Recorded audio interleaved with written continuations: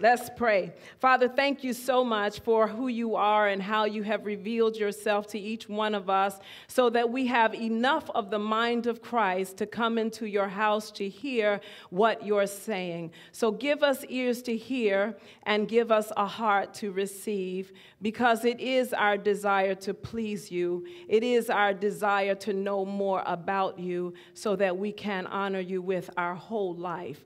I humble myself before your righteous righteous right hand, Father. And I thank you for putting your word in my mouth and for covering me with the shadow of your hand. I thank you that it is not human wisdom on display, but it is a demonstration of your Holy Spirit's power.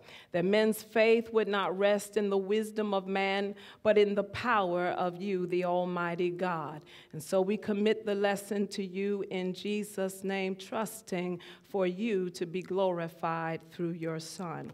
In Jesus' name, all the believers said, Amen. Well, a couple of weeks ago, we began a series uh, and then we closed it with a focus on how God uses regular and ordinary people. Interestingly enough, it is through two regular people, one Mary and the other Joseph, in a less than ordinary setting, a barn that we now call a manger, that we as Christians have begun a season where we celebrate the entrance of the extra ordinary, the extraordinary work of God. That is Christ, the power of God, and the wisdom of God announced to the world. His name, Emmanuel, God with us. A baby born in a broken world to establish the kingdom of God born so that he might deliver and completely save all of God's affection, the object of his affection, born to demonstrate obedience even unto death, born to destroy the power of darkness that oppressed humanity, born of a woman, the word became flesh and dwelt among us. The image of the invisible God, finally revealed. And when the Son of God, the Son of Man, the Son of David did appear just as the prophets foretold, well, the Bible says that the angels began to sing. That the Magi, that is the priests, they brought their gifts from afar so that they might worship, and the world would tell the story.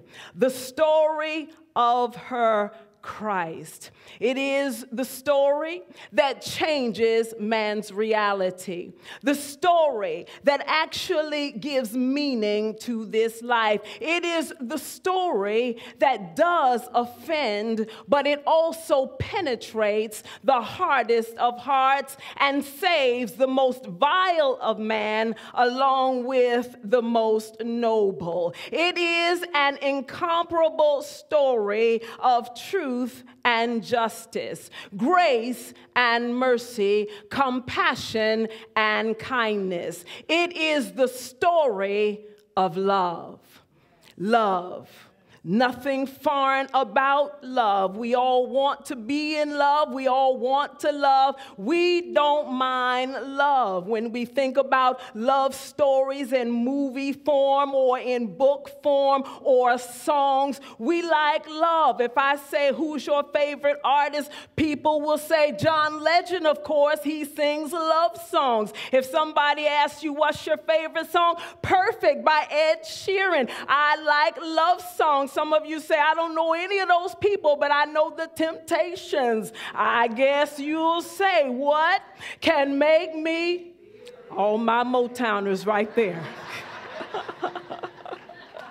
we like love, right? We like love. We appreciate love. I believe that we like love because it actually depicts for us an intriguing interest from one party to the other. It shows us a mounting suspense, a trust without any guarantee, a voluntary risk, an acceptance despite weaknesses that are seen. It shows us selfless commitment, love.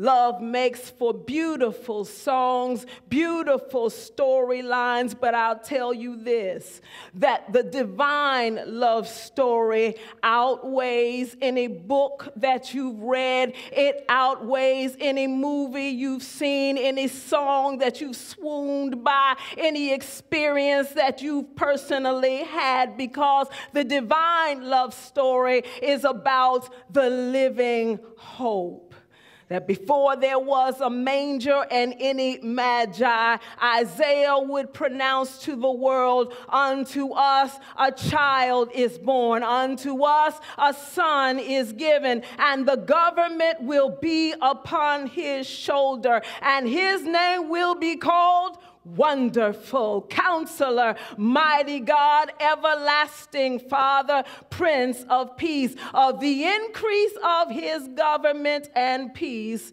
there will be no end. And so, from Genesis through Revelation, this, this living hope means that he is relevant as the true and the living God, as the bishop and the overseer of our life, as the chief shepherd of our future, as the guide for our steps, as the friend that sticks closer than a brother, as Isaiah calls him, our husbandman. He is is the living hope. The divine love story is about the living hope, but it is also about a fulfilled promise. A fulfilled promise that Matthew says that she will bring forth a son, and you shall call his name Jesus, for he will save his people from their sins. Promise given, and Revelation 3 shows us promise fulfilled as he says, Behold, I stand at the door and knock. If anyone should hear my voice and open the door, open the door of your life, open the door of your ways, open the door of your heart. If anyone will hear my voice and open the door, I will come into him and will dine with him and he with me. Because the promise is fulfilled, then God will make himself known to us individually, individually with a sweet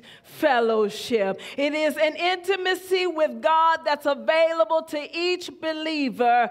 And if you will pursue the divine love story. The divine love story is about a living hope, it is about a fulfilled promise, and it is a story that causes a happily ever after. See, Jesus tells us in John that he who believes in me has everlasting life. And so this love story goes beyond the flesh. This love story will never end. In fact, this love story will cause our path to be brighter and brighter until the full light of day. This love story completes you and is good for you. This is a love story that is like no other love story. This is a love story that is forever, where the bride of Christ daily makes herself ready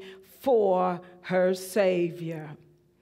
We ready ourselves then through the 66 books and letters of our Bible, where our Father not only introduces Himself to us, but He also tells us that we are His own. He tells of His desire for each one of us individually, a desire that He would have all of us, not just one part, not just every other now and again. No, but He would have every part of our being and that He would give every part of Himself to you. And so, throughout the scriptures, He tells us about relationship relationship where he sees you, where he secures you, and where he has saved you. Saved you based upon number one, truth and justice. There in First John chapter 4, let's look at it in verse 9. In this, the love of God was manifested toward us that God has sent his only begotten Son into the world that we might live through him. In this is love, not that we loved God, but that he what? Loved us and sent his son to be the propitiation. In other words, to be the substitute for our sins.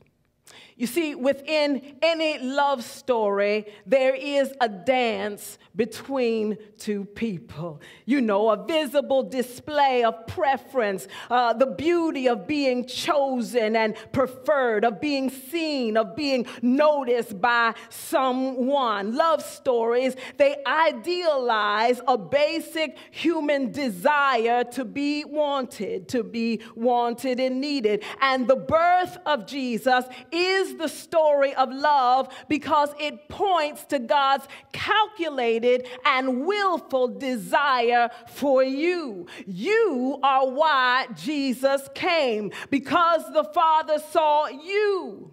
And there is nothing about who you are that was or is hidden from your God. And yet, He still wants you. He still wants relationship with you. And so he offers to you Jesus.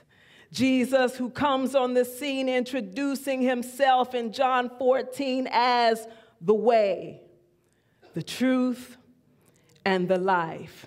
Our Father, He offers to us Jesus. Jesus, or it's being said in Acts chapter 4 that there is only one name under heaven whereby man can be saved the name of Jesus.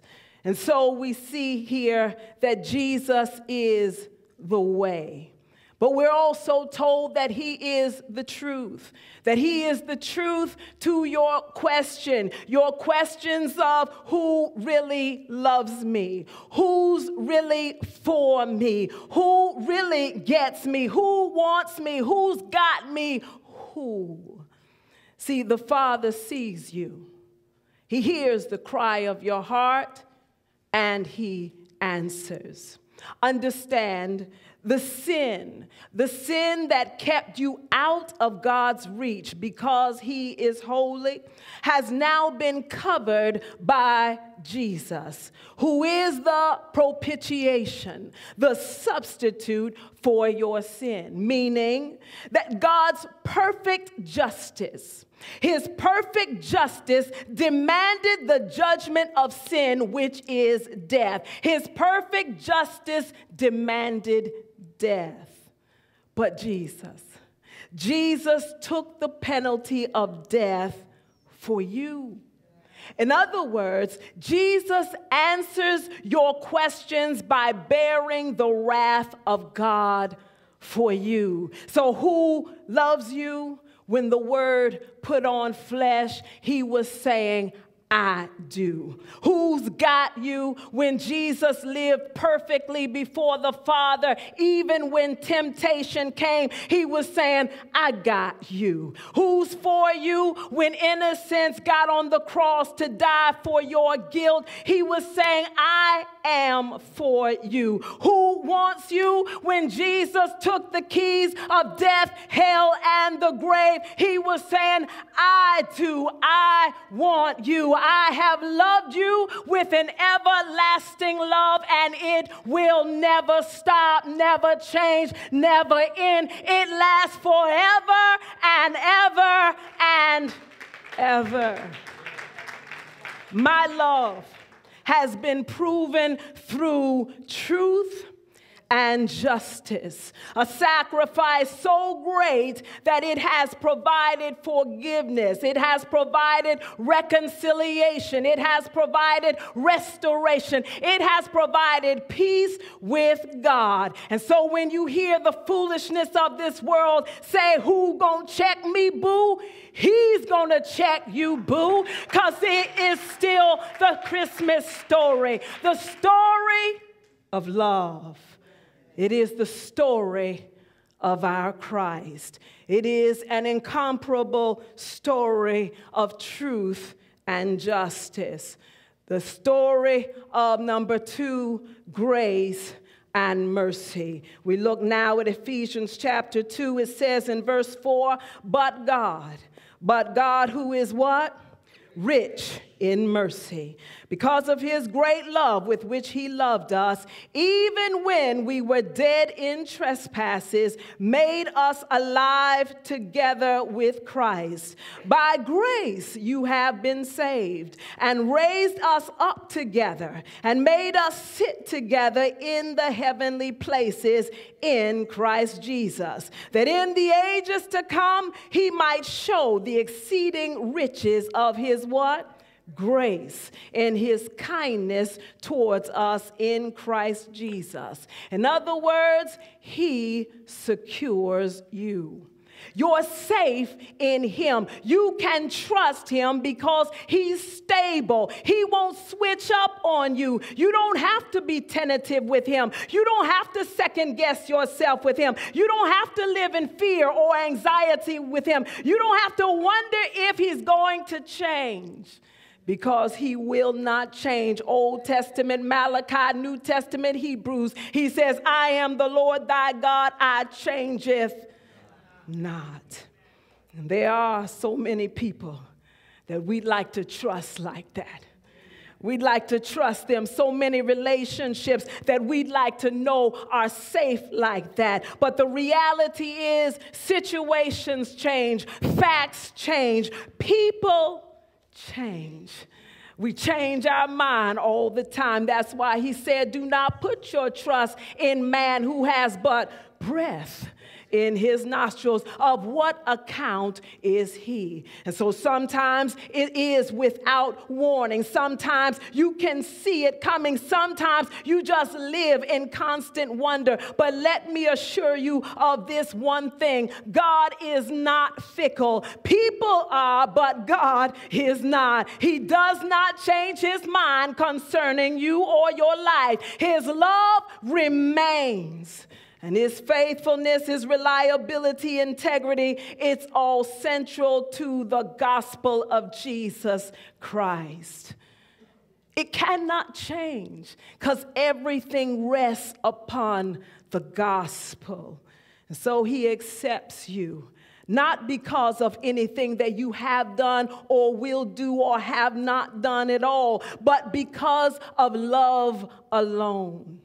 And so you are greater than what you do. You're more valuable than what you own, and you are more important than your triumphs or your failures. Because listen, life in Christ is not about your adequacy or your sufficiency. Life in Christ is about your sincerity or your security in His grace and in His mercy. Your life is based upon your security in His grace and in His mercy. Grace that gives you access to the living God. Grace, which gives you the privilege to call him your own. Grace, it gives you the blessing wherever you go. Grace, it gives you access to the benefits without any condemnation. Grace gives you an escape even when you're tempted. Grace allows you to get back up when you fall. And grace says you are still accepted, still loved, and that you still belong to the Father. Grace is possible because of his great love, because he is rich in mercy. See, he, he could have. He could have left us dead in our sin, but mercy.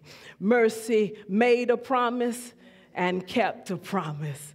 He could have. He could have left us blind to the truth, but mercy introduced a baby in a manger. He could have judged us alone, but mercy increased this baby in wisdom and stature. He could have remained in wrath towards us, but mercy revealed a Savior to us. He could have dominated you and made you do what He wanted, but mercy gave you a choice. He could have remained silent and distant, but mercy mercy drew you so it stirred within you and awakening came upon you. He could have, but mercy, because of his great love for us. The Father, who is rich in mercy, made you alive together with him.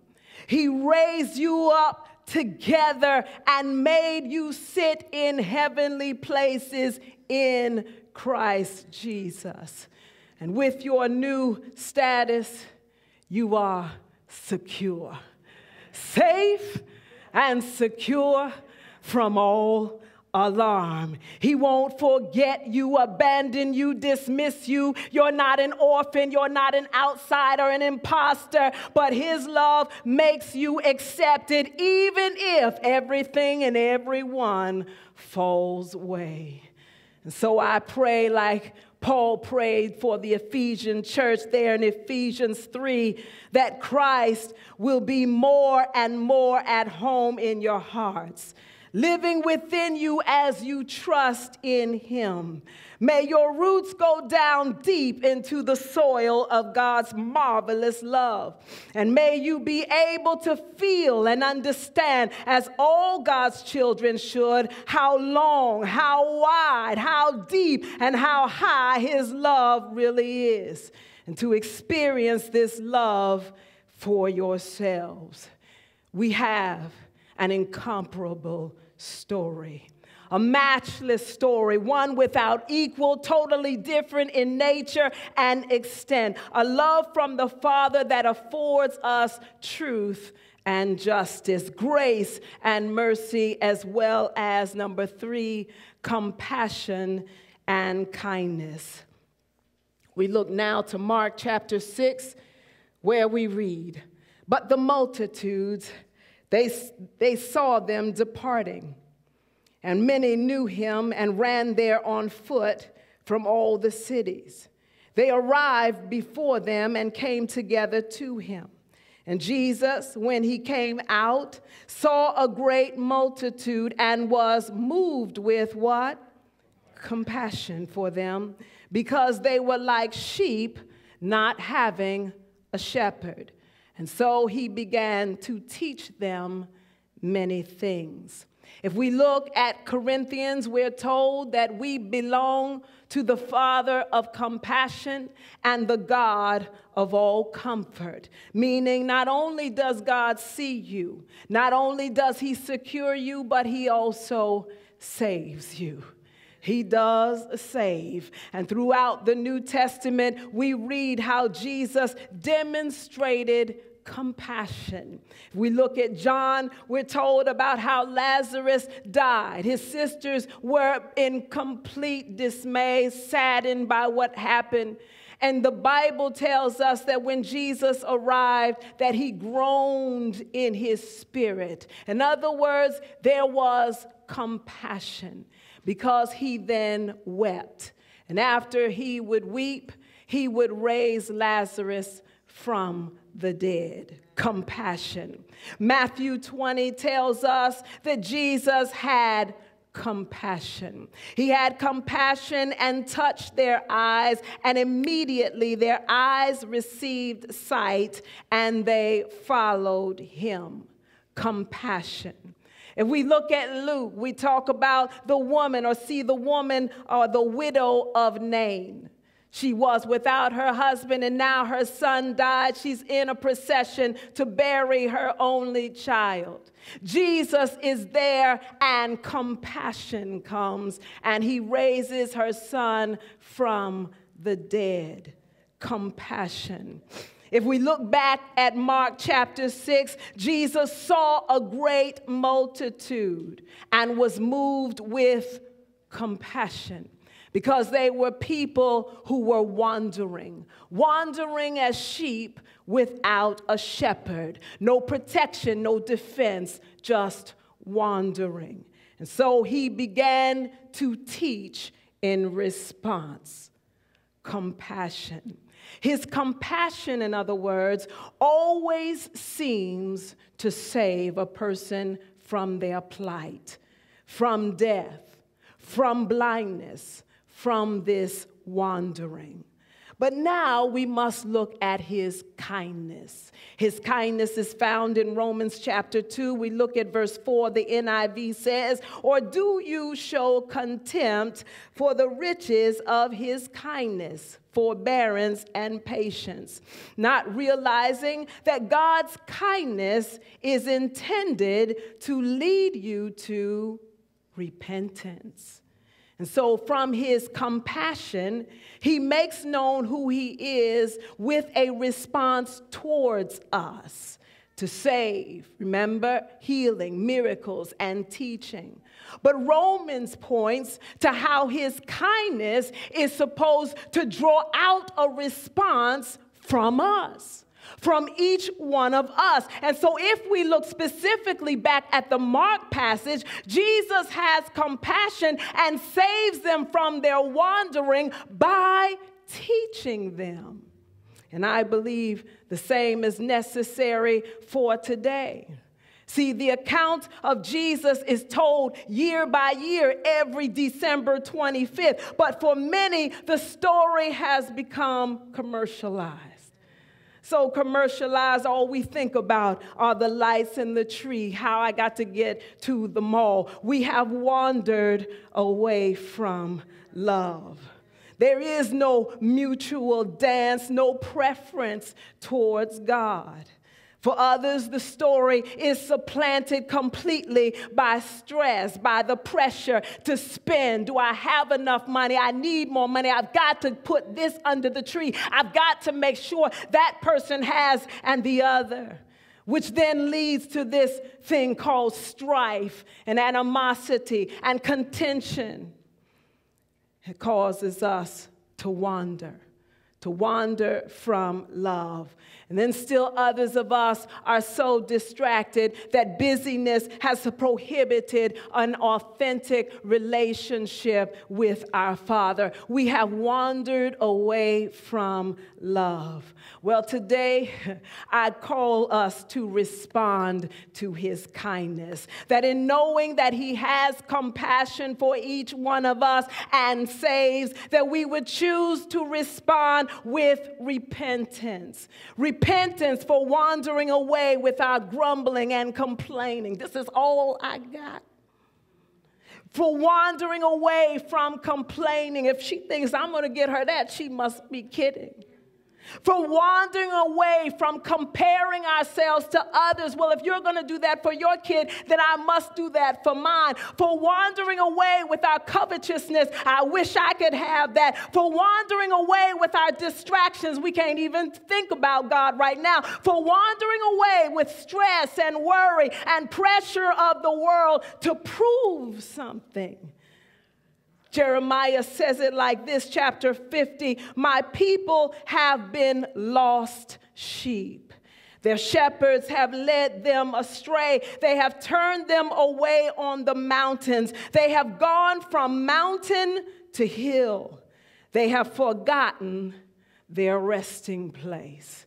Oh, there is a resting place in Him, and it comes through repentance. And so I say, as your shepherd, you will not be lost at a mountain or on a hill on my watch. Not on my watch. I remind us of the resting place, the saving power of Jesus Christ, the love of God that seeks and saves every person that's lost, every person that's wandering. His compassion and his kindness remember where He saves and we respond.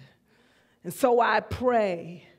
I pray, Father, that you would search each one of us and know our heart, that you would try each one of us and know our anxieties and lead us in the way everlasting. I pray, Father, just as Jesus said, Come to me, all you who labor and are heavy laden, and you would give us rest. We want to come to the resting place today. We take your yoke, Jesus, upon us, and we choose to learn from you. you you who are gentle and lowly in heart, that we may find rest for our soul that we would not worry like the Gentile, but in the same way that you provide food and shelter, we don't have to worry about what we'll put on according to what is written. Let it be so in this house that we are worshipers and we recognize you as our provider entering into your rest.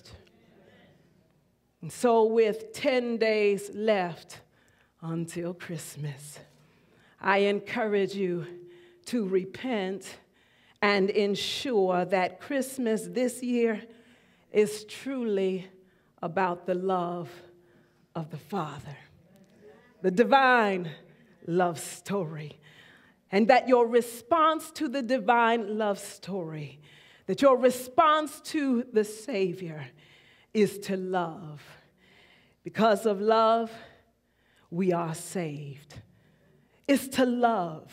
It's to love God with all of our heart, all of our strength, all of our mind. It's to love our neighbor as ourselves. That when we think about this Christmas, we think about the divine love story. Every head bowed, every eye closed.